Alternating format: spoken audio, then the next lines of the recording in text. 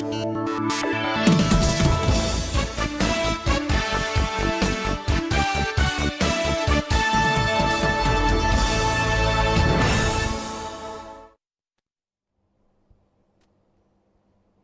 και κύριοι, χαίρετε. Είναι Δευτέρα 27 Ιουνίου και αμέσως τώρα ξεκινάει η αναλυτική σας ενημέρωση από το Super B.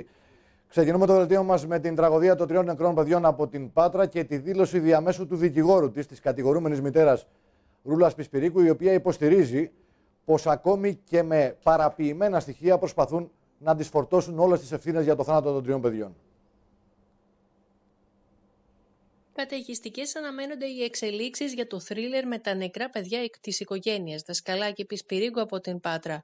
Η Ρούλα Πισπυρίγκου παραμένει στις γυναικείες φυλακές Κορυδαλού και ξέρει πως μέσα στην εβδομάδα είναι πολύ πιθανό να της απαγγελθούν νέες κατηγορίες και να κληθεί να καταθέσει για τις δολοφονίες της Μαλένας και της μικρής Ήριδας στην Πάτρα. Η 33χρονη που για την ώρα κατηγορείται μόνο για τη δολοφονία της Τζορτζίνας με κεταμίνη δεν αλλάζει γραμμή. Επιμένει πως είναι αθώα και πως δεν υπάρχουν τα απαραίτητα πιστήρια για την ενοχή της.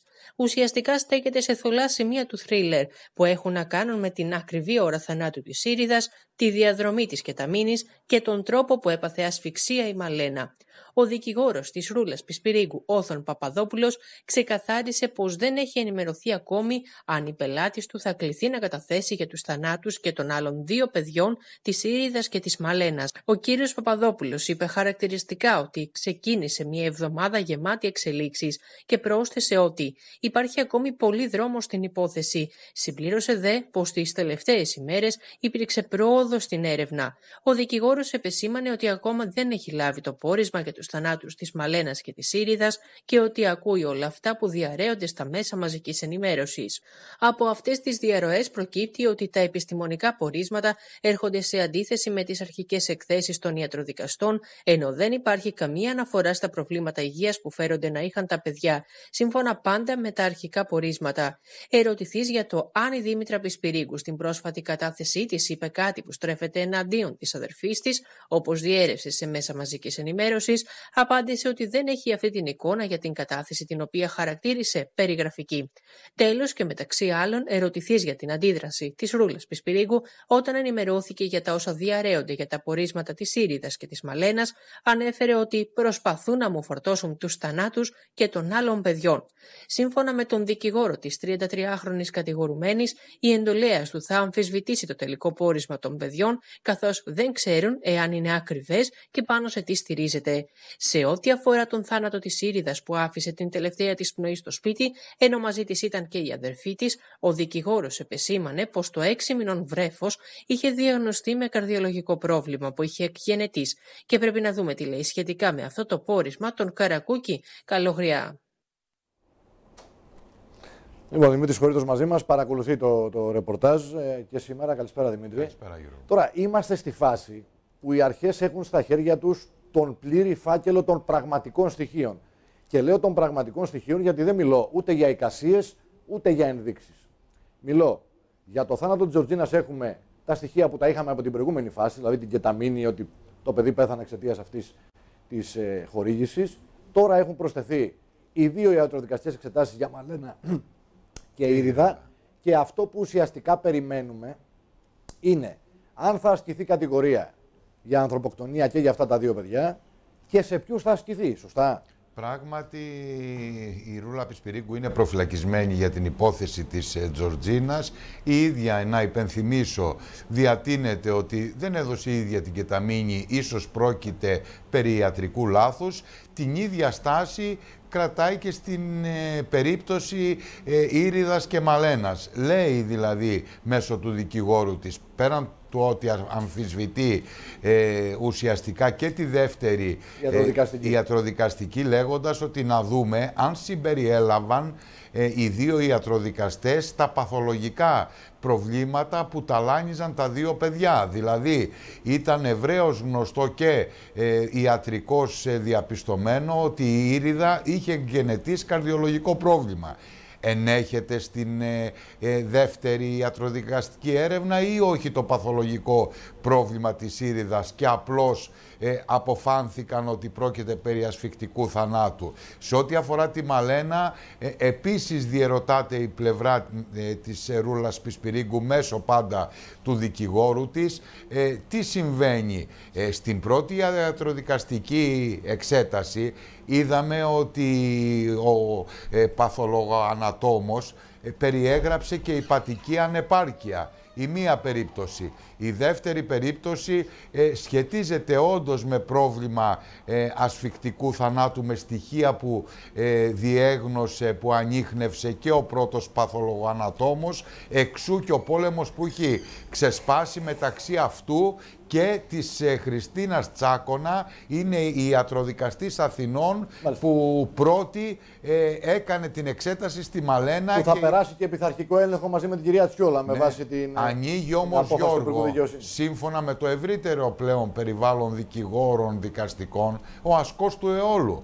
Εάν οι διαγνώσεις ε, τόσο της ε, κυρίας Τσάκονα όσο και της δικής μας εδώ, ε, της υπεύθυνης της ιατροδικαστικής υπηρεσίας πατρών της κυρίας ε, Τσιόδρα, ε, Τσιόλα, ναι. Τσιόλα, Εάν λοιπόν ε, οι φάκελοι αυτοί είχαν μπει στο σιρτάρι και δεν υφίστατο θέμα ε, δολοφονίας, Α, είπε και ο τότε πρέπει να πω αυτή τη λέξη γιατί ανοίγουν οι ασκοί του αιώλου έτερες περιπτώσεις που έχουν εξετάσει, τα αποτελέσματα είναι σωστά. Όντως επρόκειτο για θανάτους απλούς ή κρύβεται πίσω κάποια άλλη δολοφονία. Δευτερευόντως. Ο Μάνος Δασκαλάκης και η πλευρά του ε, αφήνουν να εννοηθεί την εξής παράμετρο. Ότι αν είχαν κάνει καλά τη δουλειά τους οι πρώτοι δύο ιατροδικαστές, ίσως ένα από τα παιδιά μου σήμερα θα ζούσε. Άρα θα προσφύγει στη δικαιοσύνη, θα κάνει αγωγές... Έχουμε πολλά στάδια ακόμα. κατά του δημοσίου. Έχουμε πολλά στάδια, σωστά, σωστά. Είναι όλα τα σενάρια αυτά που λες, είναι στο πλαίσιο της λογικής και της νομικής αντιμετώπισης από την πλευρά και του δασκαλάκη. Η Ρούλα Πισπυρίγκου επίσης λέγει και το εξής Γιώργο, ότι ναι μεν έχουμε τις δεύτερες ιατροδικαστικές εξετάσεις, αλλά δεν έχουν αμφισβητηθεί ευθέως οι πρώτες, δεν έχουν καταρριφθεί ως επιχειρήματα και ως ευρήματα, Άρα πρέπει να αποφανθούν. Καλά τώρα, εντάξει. Ναι. Λέει δηλαδή ότι είχαν παθολογικά ζητήματα τα παιδιά. Αλλά ακόμη και έτσι να είναι, ναι. με βάση τα τελευταία, κάποιος τάπνιξε τα παιδιά. Για να συνοηθούμε. Μάλλον δεν τάπνιξε, τους δημιούργησε ασφυκτικό, ασφυκτικό θάνατο. θάνατο. Λοιπόν, τάπνιξε θα, πάμε, θα τάπνιξε λα, λαϊκιστή. Ναι. Ε, πάμε λίγο στο επόμενο θέμα, γιατί νομίζω ότι ε, μέσα στην εβδομάδα, όπως είπε και ο δικηγόρος, θα δούμε πολλά ακόμη. Έχουμε και την υπόθεση της πτωνικοκυρά, ε, Γιώργο, που οι δικηγόροι των συγγενών ζητούν επιτακτικά την εκταφή της για να διαγνωστεί το εξής. Ελάμβανε τα χάπια που έπρεπε, τη φαρμακευτική αγωγή. Ε, σωστά ή τις έδιδαν άσχετα με τη φαρμακευτική της αγωγή χάπια με συνέπεια να βρεθεί πρόωρα στον την υπόθεση αυτή να θυμίσω ότι από σήμερα κιόλας ξεκινά νέος κύκλος καταθέσεων για την υπόθεση θανάτου της νοικοκυράς. Το είχαμε πει την περασμένη εβδομάδα. Και ζητεί επίσης η πλευρά των συγγενών της σπιτονικοκυράς τη Ευγενία Κούτρα ε, να μπει στο κάδρο και ο Μάνος Δασκαλάκης, ο οποίος πρωταγωνιστούσε στην υπόθεση της σπιτονικοκυράς. Ήταν αυτός ο κύριο Έτσι. Λοιπόν, πάμε στο κορονοϊό. Τα κακά νέα δεν έρχονται από τα σημερινά κρούσματα, αλλά από τις εκτιμήσεις των ειδικών. Τις εκτιμήσεις για τα κρούσματα και τον αριθμό τους από αύριο και μετά. Λοιπόν, πάμε. Αυτή είναι η εικόνα της ημέρας. 7.682 σε όλη τη χώρα. 12 νέοι θάνατοι το τελευταίο 24ωρο, 97 είναι οι διασωληνωμένοι ασθενείς στα νοσοκομεία της χώρας. Η εικόνα της Δυτικής Ελλάδας είναι επιβαρημένη και αυτό το 24ωρο. 218 στην Αχαία, 86 στην Λακανανία, 72 κρούσματα στο νομό της Ηλίας. Και Δημήτρη, έχουμε δήλωση του Γκίκα Μαγιορκίνη σήμερα, νωρίτερα, ότι αύριο που θα έχουμε καταγραφή πλήρη και πάρα πολύ μεγάλο αριθμό τεστ, καθώς τα σημερινά κρούσματα έχονται απομετρήσει Σαββατοκύριακου, που είναι μειωμένα τα τεστ, θα έχουμε 20.000 κρούσματα. Έτσι, ο καθηγητής του Καποδιστριακού Πανεπιστημίου ε, ουσιαστικά προειδέασε ότι έως και τις 10 Ιουλίου τα κρούσματα θα είναι 20 με 25 χιλιάδες ε, την ημέρα. Τι σημαίνει αυτό, θα έχουμε μεγάλη έξαρση των κρουσμάτων λόγω των υποπαραλλαγών της μετάλλαξης όμικρον. Ωστόσο, ο καθηγητής επεσήμανε την εξής κρίσιμη παράμετρο. Αυτές τις ημέρες θα παρακολουθήσουμε αν θα υπάρξει ε, άνοδος των διασωληνωμένων. Εκεί θα κριθεί... Στους ε, σκληρούς δείκτες. Στους σκληρούς δείκτες θα κριθεί αν η άνοδος η ημερήσια των κρουσμάτων είναι τόσο επικίνδυνη ή όχι. Μέχρι Προς τώρα... το παρόν δεν υπάρχει. Δεν υφίσταται κάποιο δεν πρόβλημα. υπάρχει να ξαδούμε για την κάρτα. Δηλαδή και σήμερα Έτσι. οι διασωληνωμένοι ασθενείς είναι κάτω από 100 σε όλη τη χώρα και η θάνατη είναι 12. Ένας αριθμός μικρό σε σχέση με όλα αυτά που είχαμε συνηθίσει να ζούμε Έτσι την περίοδο του ακριβώς. Να δούμε Εάν- την κάρτα πάλι να ζητήσω από τους συναδέλφους. Ωραία. Αυτή είναι η. Ε, το βλέπουμε, είναι μικρός ο αριθμός ε, Στην διασωληνωμένων. Αχαία πάντως. Δεν υφίσταται Τα πρόβλημα. νούμερα είναι μεγάλα. Έτσι. Ναι. Και αυτή την εβδομάδα. Από ό,τι φαίνεται αύριο θα έχουμε ίσως πάνω από 350. Λοιπόν, Αλλά πάμε. όλο αυτό, Γιώργο, έχει δίκιο ο κύριος Μαγιορκίνης. Πρέπει να το βλέπουμε συνδυαστικά, όπως προείπες, με τους σκληρούς δείκτες.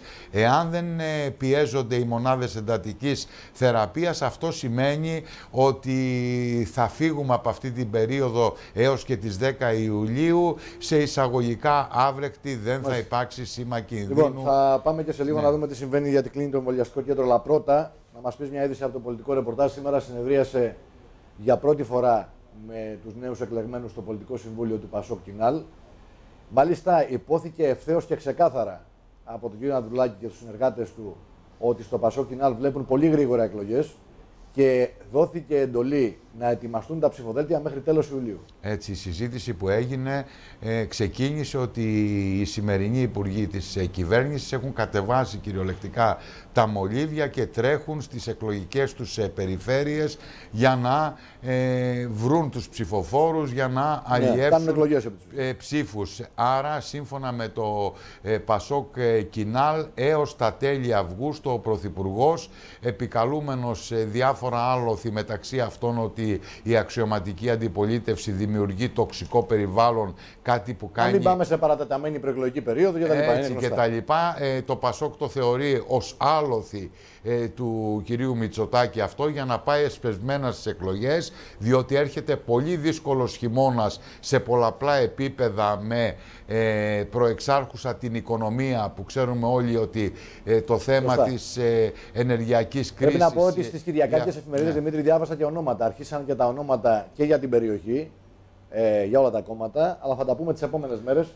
Πέραν των ονομάτων όμως ε, δόθηκε ένα μήνυμα ε, μέσω του Ανδρουλάκη ότι πρέπει να υπάρξει μεγάλη ανανέωση ε, πρόσωπα τα οποία θεωρούνταν ε, στην προηγούμενη κατάσταση βαρύδια να μείνουν πίσω, να μην ε, τα προτάξουν σε ψηφοδέλτια, αλλά ταυτόχρονα να μπουν και σημαντικά ονόματα ε, Φερρυπίν στην Αχαΐα, όπως είναι Κατσιφάρας, ε, Κατσικόπουλος ε, και λοιποί, ε, ούτως ώστε να Και αποκτήσει... ανανέωση και όλη αυτή δεν γίνεται για τα δύο. Ε, ναι, τώρα όλα αυτά τα έχουν λίγο μπερδεμένα, αλλά σε κάθε περίπτωση, Γιώργο, διεκδικούν ε, σε Κρήτη, Αχαΐα, Ηλία, ε, το Λακαρνανία, Δωδεκάνησα, ε, διψήφιο ποσοστό. Αυτό ήταν το σύνθημα, πώς στις συγκεκριμένες περιοχές που Άρα ήταν στην Δυτική Ελλάδα παλαιότερα. έχουν δύο νομούς, Ηλία και Αχαία, όπου το Πασόκ θεωρεί ότι θα έχει διψήφιο ποσοστό σίγουρα, ίσως να διεκδικήσει και δεύτερη έδρα. Λοιπόν, Δημήτρη, σε ευχαριστώ πολύ. Ε, στην πολιτική επικαιρότητα θα επανέλθουμε και σε λίγο. Πάμε τώρα στο θέμα του Λουκέτου, οριστικού, στο Μέγκα Εμβολιαστικό Κέντρο στο λιμάνι της Πάτρας. Οι φήμες που ήθελαν το ΜΕΓΑ εμβολιαστικό κέντρο της Πάτρας να μην έχει μεγάλη διάρκεια ζωής επιβεβαιώθηκαν από τον Αντιπεριφερειάρχη Αχαία Χαράλα Μποπονάνο. Σύμφωνα με τα όσα ανέφερε ο κ. Μπονάνος σε ραδιοφωνικό σταθμό της Πάτρας, το ΜΕΓΑ εμβολιαστικό κέντρο αναμένεται να κλείσει μέχρι το τέλος του μήνα, καθώς η απόφαση του Υπουργείου Υγείας είναι να πάυσει η λειτουργία του μέχρι 1η Ιουλίου. Το όλο θέμα σχετίζεται άμεσα με την πτώση της εμβολιαστικής διαδικασίας στην Αχαία και το μηδενικό σχεδόν ενδιαφέρον που δείχνει ο κόσμος της περιοχής τους τελευταίους μήνες για τα εμβόλια. Ωστόσο, σύμφωνα με τα όσα ανέφερε ο κ. Μπονάνος, η απόφαση του Υπουργείου έχει ένα λάθος σκεπτικό, τονίζοντας ότι το Μέγα Εμβολιαστικό Κέντρο της Πάτρας θα μπορούσε να μείνει ανοιχτό, αναλαμβάνοντας όλη την εμβολιαστική διαδικασία και απαλλάσσοντας την πρωτοβάθμια φροντίδα υγείας και τα δημόσια νοσοκομεία από τα εμβόλια. Πλέον, με το κλείσιμο του Μέγα Εμβολιαστικού Κέντρου, οι γιατροί και οι νοσηλευτές του ΕΣΥ θα επιβαρυνθούν εξ ολοκλήρου την εμβολιαστική διαδικασία, κάτι που ενδέχεται να κοστίσει σε περίπτωση που από τον ερχόμενο χειμώνα αυξηθούν οι νοσηλίες.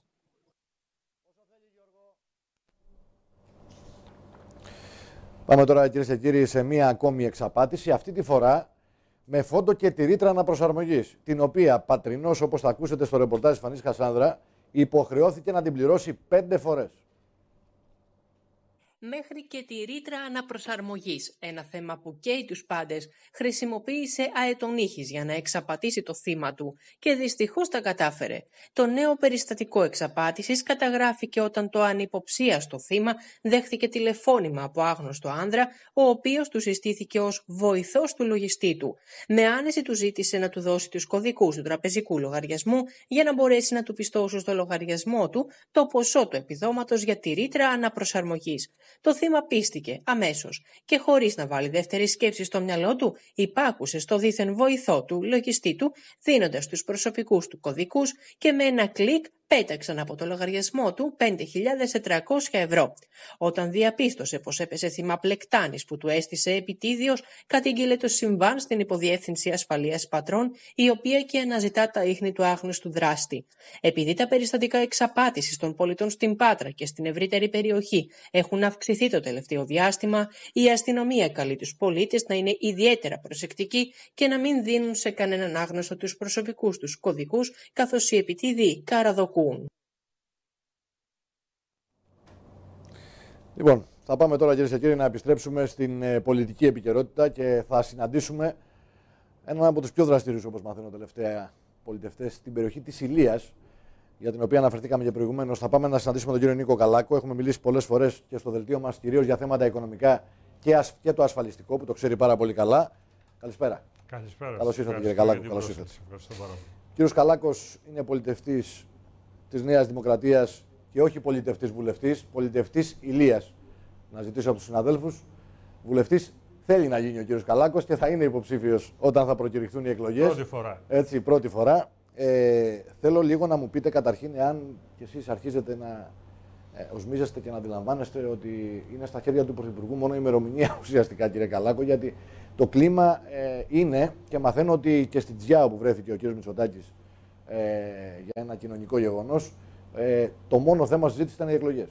Πράγματι και στην Ηλία αυτή τη στιγμή όλες, σε όλες τις εκδηλώσεις είναι παρόντες οι πάντες.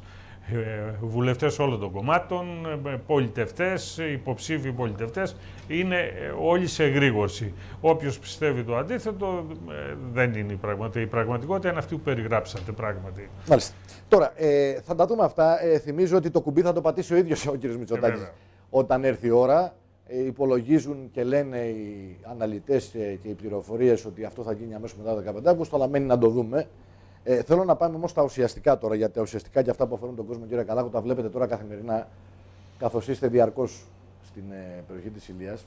Και θέλω να μου πείτε πριν πάμε στα επιμέρους ζητήματα και τα προβλήματα, πώς βλέπετε τον κόσμο απέναντι στη Νέα Δημοκρατία. Έχουμε ενεργειακή κρίση που έχει εκτινάξει τους λογαριασμούς του ρεύματος. Έχουμε πάρα πολύ μεγάλες αυξήσεις και στα καύσιμα εξαιτίας αυτής της κατάστασης. Έχουμε ακρίβεια παντού. Η κυβέρνηση έχει κάνει κάποιες ενέργειες δίνοντας κάποια επιδόματα. Νομίζετε ότι αρκούν; Τι σας λέει ο κόσμος; Κοιτάξτε, ο κόσμος έχει παράπονα. Κατανοώ απόλυτα τη δύσκολη θέση στην οποία βρίσκεται ο κόσμος. Ναι. Ειδικά ο κόσμος αυτός ο οποίος έχει ένα πολύ μικρό εισόδημα, όπως είναι οι συνταξιούχοι, ένα σταθερό εισόδημα και δεν έχουν τη δυνατότητα να βελτιώσουν αυτό το εισόδημα. Δεν ισχύει βέβαια για κάποιες κατηγορίες πολιτών. Ε, πράγματι, το, η ενέργεια δημιούργησε πάρα πολύ μεγάλα προβλήματα. Αυτό αποκαταστάθη θα το δουν οι καταναλωτές από τον επόμενο μήνα. Η κυβέρνηση πήρε πρωτοβουλία που καμία άλλη χώρα στην Ευρώπη δεν το έχει πραγματοποιήσει. Ε, πράγματι βγήκαμε, εμείς έχουμε σαν χώρα μια ιδιαιτερότητα, βγήκαμε μετά από 10 έτη ε, στα μνημόνια, πέσαμε πάνω στην πανδημία, ήταν η πιο άτυχη κυβέρνηση πιστεύω των τελευταίων 40 ετών, ε, αλλά πιστεύω ότι ο κόσμος κατανοεί ε, όλα αυτά τα προβλήματα και προσβλέπει στην ε, Νέα Δημοκρατία, γιατί θεωρούν η κυβέρνηση της Νέας Δημοκρατίας με πρωθυπουργό τον κύριο Μητσοτάκη μπορεί να δώσει λύσεις στα προβλήματα. Έχουμε και, μια νέα δημοσκόπηση σήμερα πρέπει να πω, 9,4 μονάδες διαφορά είναι μπροστά η Νέα Δημοκρατία. και καταλληλότερος ο κύριος Μητσοτάκης ε, άλλωστε έχουμε, όπως ξέρετε, και τα σοβαρά προβλήματα της εξωτερικής πολιτικής με την Τουρκία. Για πρώτη φορά συμβαίνουν τα τελευταία 50 χρόνια αυτά που συμβαίνουν με την Τουρκία, με αυτή την επιθετικότητα που δείχνει ο γειτονάς μας και ο Πρωθυπουργός έδειξε με όλη του την πορεία και τις στάσεις του τον τελευταίο καιρό ότι είναι ο μόνος ικανός που μπορούν να τον εμπιστευτούν οι Έλληνες πολίτες και την επόμενη τετραετία. Θέλω να πιστεύω ότι θα συμβεί αυτό στις εκλογές και δεν θα ξαναμπούμε σε περιπέτειες, σε πειράματα που μας οδήγησαν πρόσφατα, πριν λίγα χρόνια, σε αρνητικές καταστάσεις για τη χώρα μας. Μάλιστα. Τώρα στην Ηλία πώς τη βλέπετε την... Ε, η Ηλία, κοιτάξτε, είναι ένας νομός εγκατελειμμένος. Τολμώ να το πω, τα τελευταία 40 χρόνια έχουμε μείνει πάρα πολύ πίσω από τους άλλους νομούς. Όλοι, όλοι οι δείχτες, δείχτες οικονομικής ευημερίας, δείχτες ανάπτυξης, δείχτες αποταμιεύσεων, δείχτες ε, της μόρφωσης, είναι δείχτες που κειμενόμεθα από την 45η θέση μέχρι την 51 στους 52 νομούς. Γι' αυτό δεν ευθύνεται βέβαια η Νέα Δημοκρατία των τελευταίων τριών ετών. Το αντίθετο. Όπως όλοι ευθύνονται, κύριε Καλά. Όλοι ευθύνονται διαχρονικά για την υποβάθμιση αυτού του νομού με τα τόσα πλεονεκτήματα. Πρώτος και βαθμός, όπως ξέρετε, τοπικής αυτοδιοίκησης τελευταία χρόνια, τα τρία, μόνο στο δεύτερο βαθμό πέρασε στη Νέα Δημοκρατία. Ε, η αντιπολίτευση σημερινή είχε όλους αυτούς τους θεσμούς τα τελευταία χρόνια. Όλους τους Δήμους, ναι. Ναι, δεν θέλω. και σήμερα που μιλάμε έναν Δήμο έχει η Νέα Δημοκρατία στη Λία από τους 7.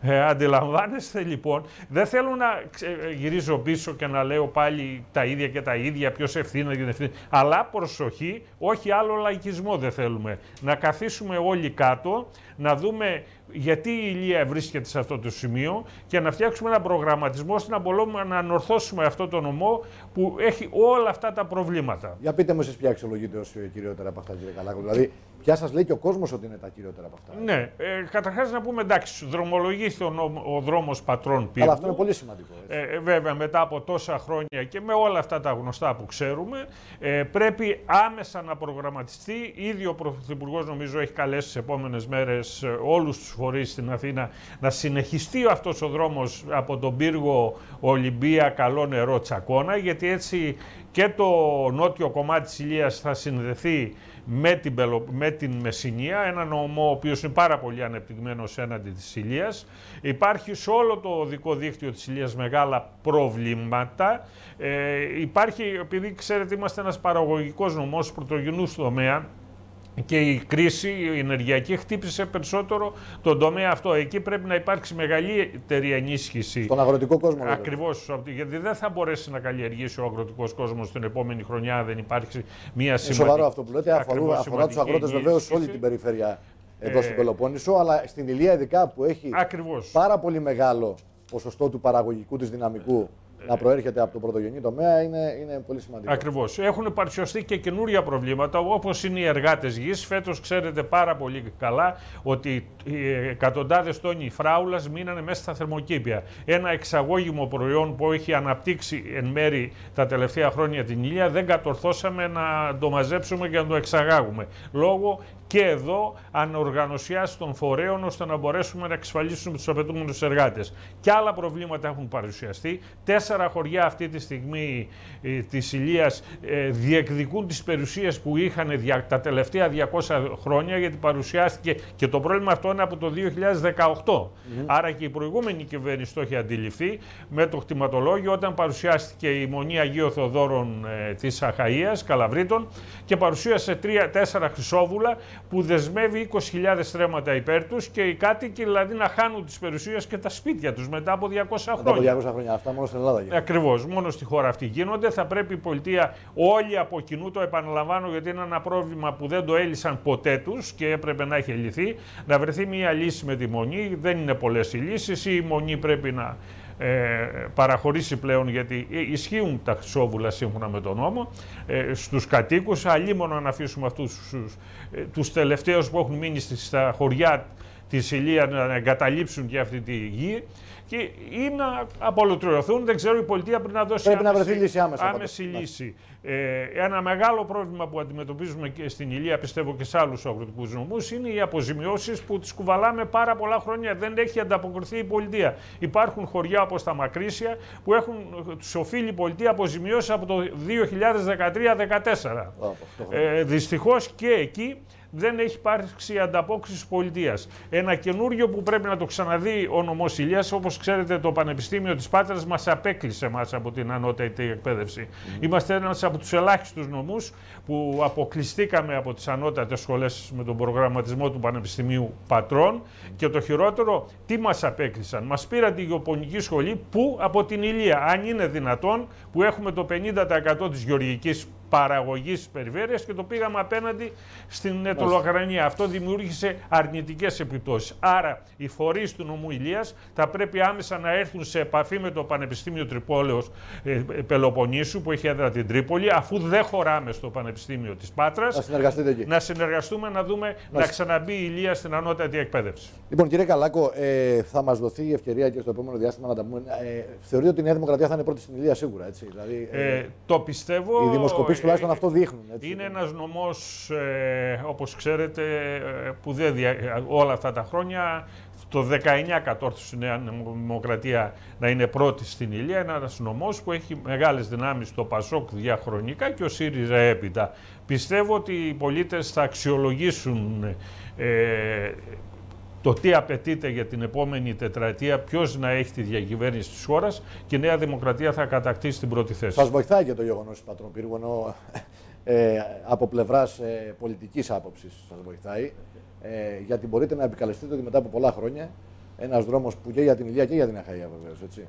Ήταν ζητούμενο, μπαίνει μπροστά. Έτσι, ε, κοιτάξτε, η Νέα Δημοκρατία έχει δείξει και στο παρελθόν ότι είναι το κόμμα που έχει δώσει λύσεις σε μεγάλα έργα και σε έργα μεγάλα υποδομών.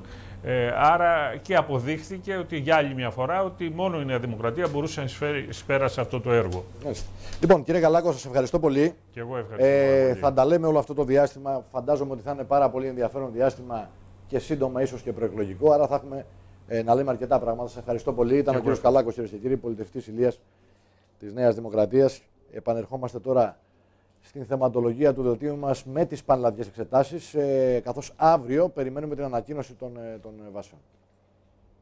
Μέχρι και την 5η 30 Ιουνίου μπορούν οι υποψήφοι που ενδιαφέρονται να υποβάλουν μηχανογραφικό δελτίο να αποκτήσουν από το Λύκειό τους τον προσωπικό κωδικό ασφαλείας. Αύριο 3η 28 Ιουνίου αναμένεται να ανακοινωθούν οι βαθμολογίες των πανελλαδικών εξετάσεων, όπως αναφέρεται στη σχετική εγκύκλιο του Υπουργείου Παιδείας. Η ανακοίνωση της βαθμολογίας των πανελλαδικών εξετάσεων προγραμματίζεται να γίνει την Τρίτη μετά τις 1 το μεσημέρι. Την ίδια ημέρα που θα γίνει η ανακοίνωση των βαθμολογιών με βάση την εγκύκλιο του Υπουργείου Παιδείας, θα αναρτηθούν και οι βαθμοί στην ηλεκτρονική διεύθυνση results.it www.minedu.gov.gr ενώ θα γνωστοποιηθούν στους υποψήφιους με τη νέα διαδικασία μέσω μηνύματος στο κινητό τους τηλέφωνο. Υπενθυμίζεται ότι μέχρι και την 5η 30 Ιουνίου μπορούν οι υποψήφοι των πανελλαδικών 2022 που ενδιαφέρονται να υποβάλουν μηχανογραφικό δελτίο ή και παράλληλο μηχανογραφικό δελτίο να αποκτήσουν από το λύκειό τους τον προσωπικό κωδικό ασφαλείας. Σημειώνεται ότι οι διαδικασίες για την υποβολή μηχανογραφικού δελτίου και παράλληλου μηχανογραφικού γραφικού δελτίου έτους 2022 θα ολοκληρωθούν περί τα μέσα Ιουλίου. Η διαδικασία της συμπλήρωσης του μηχανογραφικού δελτίου θα συνεχίζεται μέχρι τα μέσα του Ιουλίου και ειδικά φέτος αποδεικνύεται μια σύνθετη υπόθεση, καθώς διαφορετικά τμήματα θα απαιτούν διαφορετικό συνδυασμό μορίων για την είσοδο στα προγράμματά τους. Και αυτό γιατί το κάθε πανεπιστήμιο καθόρισε μόνο του τους συντελεστές στα μαθήματα βαρύτητας για τα προγράμματά του. Έτσι φέτος δεν υπάρχει βαθμολογική αντιστοίχηση τμήματων, οπότε και δεν μπορεί να γίνει ευθεία σύγκριση με τα δεδομένα της περσινής εξεταστικής χρονιάς. Σε κάθε περίπτωση η υποψή υποψήφοι πρέπει να ξέρουν ότι κατά την συμπλήρωση του μηχανογραφικού δελτίου δεν πρέπει να παρασύρονται από την πιθανά υψηλή ή χαμηλή βαθμολογία που μπορεί να έχουν, αλλά να φροντίσουν να μελετήσουν σοβαρά τα βαθμολογικά τους δεδομένα και να καλύψουν όσα περισσότερα σενάρια μπορούν για την εισαγωγή τους στην ανώτατη εκπαίδευση της χώρας. Και βέβαια πάντα στα τμήματα που τους ενδιαφέρουν και όχι σε άλλα που προσφέρουν σπουδές οι οποίες δεν κερδίζουν το ενδιαφέρον τους. Επίσης, όπως αναφέρουν και οι ψυχολόγοι τις επόμενες ημέρες, δεν πρέπει να παρασυρώμαστε από συμβουλές άλλων ή προβλέψεις, αλλά απλά να τις αξιολογούμε ήρεμα και λογικά. Σημαντική είναι και η αξιολόγηση σοβαρών μελετών που εκπονούνται κατά καιρούς στην Ελλάδα, αλλά και το εξωτερικό σχετικά με τις προοπτικές των επαγγελμάτων που μας ενδιαφέρουν. Τα νέα επαγγέλματα που τυχόν αναδύονται στη χώρα μας, αλλά και σε διεθνές επίπεδο.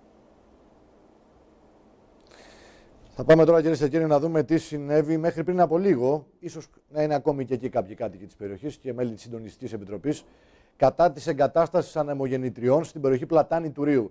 Είχαμε συγκέντρωση διαμαρτυρίας των κατοίκων εκεί. Θα δούμε και κάποιες φωτογραφίες και κάποια, θα πάρουμε μια γεύση. Και στο πλευρό των κατοίκων είναι και ο Δήμος Πατριών και έχουμε τον πρόεδρο του Δημοτικού Συμβουλίου, τον κύριο Παναγιώτη Μελά μαζί μας, να τον δούμε, να καταλάβουμε γιατί. Καλησπέρα κύριε Μελά. Καλησπέρα. Γιατί υπάρχει αυτή η αντίδραση στις ανεμογεννήτριες για την περιοχή του, του Πλατανίου, κύριε Μελά; Γενικώς το ζήτημα είναι το εξής και πολύ συγκεκριμένο. Δεν μπορούν ανεμογεννήτριε να μπουν μέσα στα σπίτια των κατοίκων. Οι συγκεκριμένες ανεμογεννήτριες οι οποίες συζητάμε είναι σε πολύ κοντινή απόσταση από τον οικισμό του Πλατανίου και όχι μόνο του Πλατανίου και τον. Εδώ είναι πριν από λίγο, έτσι είναι ο κύριος Πελετήδη, εσείς και εδώ είναι κάτι που βρέθηκαν. για τα συμφέροντα κάποιων εταιριών δεν μπορούμε να καταστρέψουμε την περιοχή για να υπάρχουν τα κέρδη τα οποία ονειρεύονται κάποιοι. Και σήμερα ήταν το πρώτο μήνυμα το οποίο στείλαμε στην συντονιστική των πολιτιστικών συλλόγων της περιοχής. Ε, συμμετείχαν όλες οι κοινότητες της περιοχής, όλες οι κοινότητες και η Δημοτική Αρχή η οποία διοργανώσαμε τη σημερινή συγκέντρωση. Είναι ένα μήνυμα το οποίο πρέπει να το πάρει η κυβέρνηση γιατί ουσιαστικά οι άδειες αυτές για τις αγρογεννήτριες ε, βγαίνουν με, από το Υπουργείο, από την κυβέρνηση που έχει, που έχει νομοθετήσει και όλο το νομικό πλαίσιο που δίνει τη δυνατότητα στις ανεμογεννήτρε να τις βάλουν και μέσα στα σπίτια. Σε πολύ κοντινή απόσταση από τα σπίτια. Να ρωτήσω τώρα κάτι γιατί καταλαβαίνετε ότι αυτή η στάση δική σας μπορεί να παρεξηγηθεί κιόλας. Εννοώ τη Δημοτική Αρχή και τη παράταξής σας. Λέει η κυβέρνηση ότι εμείς είμαστε υπέρ των νέων μορφών ενέργειας, οι οποίες είναι πιο φιλικές στο περιβάλλον και μην τα, μην τα λέμε πάλι τώρα τα επιχειρήματα αυτά. Εσείς είστε απέναντι από αυτό και δεν θεωρείτε ότι μπορεί να κατηγορηθείτε. Πρώτον. Δεύτερον, έχετε πάρει ε, έχετε συζητήσει το θέμα στο Δημοτικό Συμβούλιο, είναι και οι άλλες παρατάξεις σύμφωνες ή είναι δική σας απόφαση της παράταξής σας; Από το ζήτημα της ενέργειας, της πράσινης ενέργειας. Εμεί λέμε πράσινα άλογα.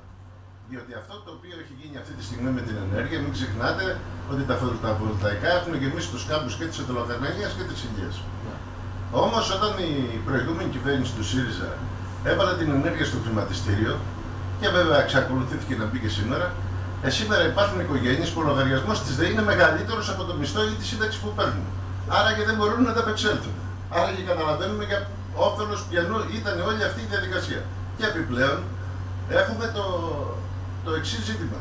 Η ρήτρα αναπροσαρμογής ποιον ωφελεί; Τι είναι αυτή η αφέμαξη η οποία γίνεται αυτή τη στιγμή στα λαϊκά στρώματα και γενικότερα στον ελληνικό λαό αυτή τη στιγμή; Με τις, ε, έχουμε γυρίσει δεκαετίες πίσω κύριε Πλή, έχουμε γυρίσει δεκαετίες που ουσιαστικά μιλάμε για λιχνάρι και γκαζόλαμπα στα σπίτια. Και πόσες είναι καθημερινά που κόβονται. Άρα και καταλαβαίνουμε ότι όλο αυτό το αφήγημα το οποίο έχουμε για την πράσινη ενέργεια είναι μηδενικό. Να πούμε ήδη ότι η ιστορία με το λιγνίτη ξαναρχίζουν να λειτουργούν, διώξανε χιλιάδες κόσμο εκεί. Ήδη η Γερμανία προχθές, από ό,τι καταλάβατε, πήρε απόφαση να χρησιμοποιήσει και το ε, άνθρακα για να μπορέσει να έχει παραγωγή ενέργειας. Και όλα αυτά γίνονται για το σύνολο κάποιων εταιριών οι οποίοι λιμένονται αυτή τη στιγμή την περιοχή και θέλουν. Αν επιχειρηθεί να τοποθετηθούν Οι ανεμογεννήτρες εκεί θα το αποτρέψουμε, θα πούμε μπροστά. Δεν πρόκειται να αφήσουμε. Αυτό ήταν σήμερα και το, η θέληση των συγκεντρωμένων σήμερα εκεί πέρα. Τη συγκεκριμένη περιοχή δεν μπορούν να την λαιλατίσουν γιατί πρόκειται για μια λαιλασία. Δεν μιλάμε για μία-δύο ανεμογεννήτρες, μιλάμε ουσιαστικά για ένα μεγάλο αιωλικό πάρκο το οποίο ξεκινάει από τη Ροδινή και φτάνει μέχρι το Καστρίτσι πάνω από τα σπίτια. Αυτή είναι η πραγματικότητα. Ναι, Αυτό το οποίο κάνουν σήμερα είναι να πάρουν, γιατί αυτή είναι ένα κόλπο ωραίο, να πάρουμε σήμερα δύο ανεμογεννήτρες, αλλά με δικαίωμα 8, οι άλλοι θα πάρουν δίπλα, οι άλλοι θα πάρουν πιο δίπλα. Και μιλάμε για ένα σύνολο ενός αιωλικού πάρκου το οποίο είναι ακριβώς πάνω από τα σπίτια. Λοιπόν, ε, πάω στην ερώτηση που θα σας την έκαναν, φαντάζομαι, και οι αντίπαλοι σα στο Δημοτικό Συμβούλιο. Γιατί πρέπει να κάνω και το, και το δικηγόρο του διαβόλου εδώ. Είναι και αυτή η δουλειά μας. Ε, μπορεί να σας κατηγορήσει κανείς ότι εσείς είστε με ένα σύνθημα ό,τι θέλει ο λαός. Ο λαός θέλει να περάσει το τρένο υπογειοποιημένο παντού. Ο Πελετήδης στη Δημοτική Αρχή λέει υπογειοποιημένο παντού. Ο λαός δεν θέλει ανεμογεννήτριες. Κατά στι ανεμογεννήτριε. Έτσι, μήπως βάζετε και φρένο σε κάποια έργα που μπορούν να γίνουν στην περιοχή, κύριε Μελά; Για να είμαστε ειλικρινείς, ε, αν το βάλουμε. Μήπως το με κάνατε βάση- ενώ και για, με για, βάση για την πολιτικούς λογική, λόγους; με βά- Μιλάμε τώρα, ας ξεκινήσουμε από το τρένο. Μιλάμε για ένα έργο το οποίο δεν είναι για σχεδιασμό 5 και 10 χρόνια. Καταλαβαίνετε πολύ καλά ότι μιλάμε για, για ένα σχεδιασμό ο οποίος θα είναι πάνω από 150 χρόνια. Και μιλάμε, αν το θέλουμε να το δούμε για, τη, για την Πάτρα, ότι αυτό το πράγμα, έτσι όπως έχει διαμορφωθεί πλέον η Πάτρα από τη Ροδινή μέχρι τα Καμίνια, αν γίνει κάτι τέτοιο, ουσιαστικά στο κομμάτι το οποίο θα γίνει και θα είναι υπέργειο, θα διχοτομήσει όλη την Πάτρα. Το θέσαμε στο Δημοτικό Συμβούλιο και η απόφαση του Δημοτικού Συμβουλίου Εκεί έχετε απόφαση του ήταν ομόφωνη, ήταν ομόφωνη κύριε Πλή, ότι θα υπογειοποιηθεί το τρένο. Τα κόστη τα οποία λένε, τα κόστη τα οποία λένε είναι πολύ μικρότερα από αυτά και αυτό παλεύουμε και τις επόμενες μέρες θα υπάρχει και συγκέντρωση των κατοίκων εκεί της περιοχής για να δούμε μαζί με τον Δήμαρχο τις εξελίξεις σε σχέση με το ζήτημα αυτό.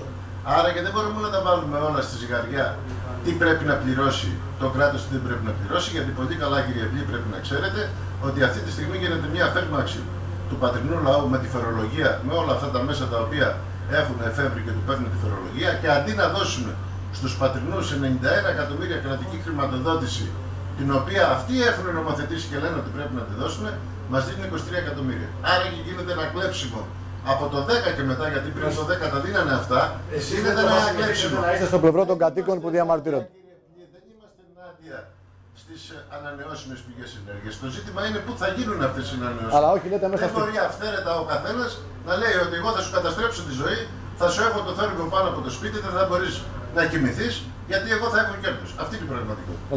Σας ευχαριστώ πολύ κύριε Μελά και παρακολουθούμε βεβαίως κύριε και κύριοι το θέμα των αναμογεννητριών. Βεβαίως, Έχουν και ξεσηκωθεί εκεί κάτι. Κλείνοντας ότι η επόμενη κίνηση η οποία αποφασίστηκε και ομόφωνα από αυτούς που συμμετέχαν σήμερα εδώ πέρα είναι η μετάβαση στην Αθήνα στο Υπουργείο Ενέργειας. Να τους τονίσουμε με κάθε τρόπο ότι εκεί, γιατί αυτοί έχουν την κύρια ευθύνη, ότι δεν μπορούν να εγκατασταθούν ανεμογεννήτριε. Άρα και έχει συνέχεια. Σα ο ευχαριστώ αγώνας πολύ ο κύριε οποίος Πρόεδρε, σας ευχαριστώ κύριε Μελά. Πάμε κύριε και κύριοι τώρα ε, στο επόμενο θέμα μας που αφορά διαμαρτυρίες για την τηλεφωνική γραμμή στο Ριό όπου ο κόσμος δεν μπορούσε να κλείσει ραντεβού, είχε πέσει, είχε τεθεί εκτός. Βροχή πέφτουν τα παράπονα των πολιτών που επιχειρούν να κλείσουν σήμερα ραντεβού με τους γιατρούς στο νοσοκομείο του Ρίου. Όπως ανέφεραν μέσω καταγγελιών, η τηλεφωνική γραμμή εξυπηρέτησης των πολιτών είναι εκτός λειτουργίας, με αποτέλεσμα να μην μπορούν να κανονίσουν τα ραντεβού τους και να ταλαιπωρούνται. Τη στιγμή που τα προβλήματα υγείας τους απασχολούν και χρήματα για εξωτερικούς γιατρούς δεν υπάρχουν, δεν μπορούν να εξυπηρετηθούν ούτε από το νοσοκομείο. Ανέφεραν χαρακτηριστικά στις καταγγελίες τους. Ζητούν οι υπεύθυνοι να ενδιαφερθούν άμεσα να αποκαταστήσουν την βλάβη για να κλείσουν τα ραντεβού τους οι ασθενείς που αναζητούν τους γιατρούς τους.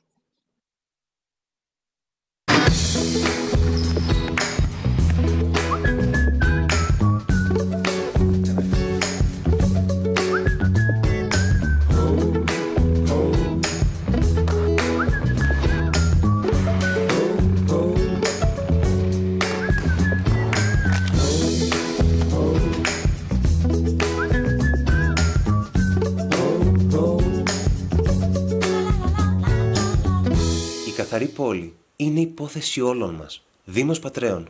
Υπηρεσία καθαριότητας.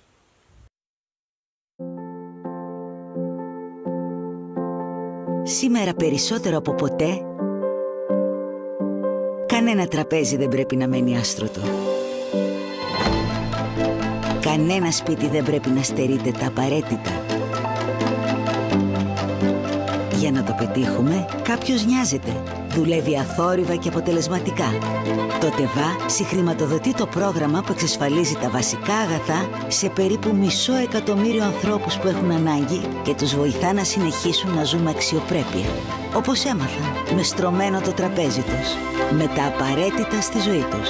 Για να μην λείπουν τα βασικά σε όσους έχουν ανάγκη, η Ελλάδα νοιάζεται, η Ευρώπη στηρίζει. Υπουργείο Εργασίας και Κοινωνικών Υποθέσεων. Ταμείο Ευρωπαϊκής Βοήθειας προς τους απόρους. Με τη συγχρηματοδότηση της Ελλάδας και της Ευρωπαϊκής Ένωσης.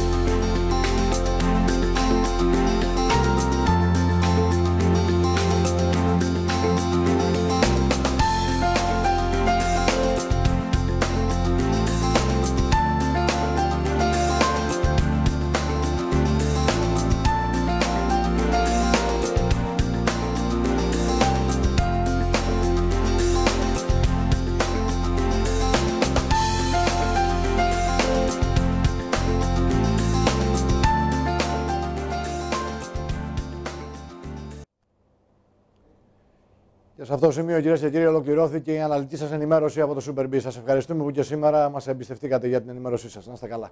Καλό βράδυ.